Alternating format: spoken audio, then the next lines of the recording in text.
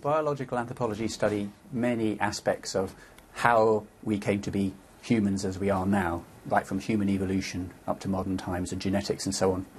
Uh, my particular area of interest in biological anthropology is studying health and disease in the past. So I've been working with the excavation team at the University of Leicester to look at Richard III's health. So we're not only studying his scoliosis, for example, but I've been looking at intestinal parasites. Parasites obviously have a health impact on the person who was uh, affected by those. Uh, parasites commonly cause malnutrition, for example.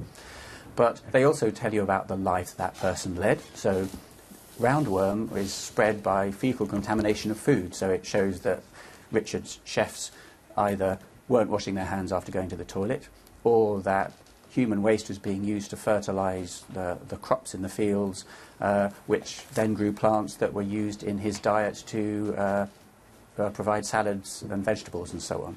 So they can help us to understand sanitation in the medieval period too.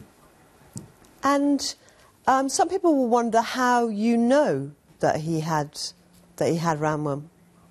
Good question.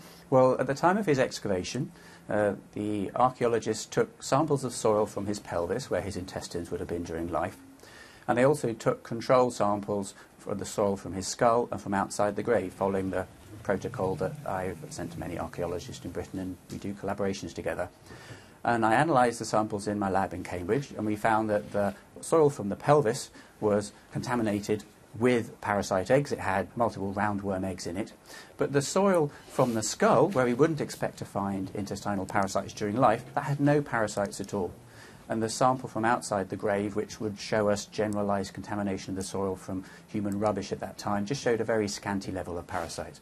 So the fact that the pelvic soil shows many parasite eggs shows that that doesn't indicate uh, contamination from later time periods, it indicates that these were the worms that were genuinely in Richard III's intestines at the time of his death.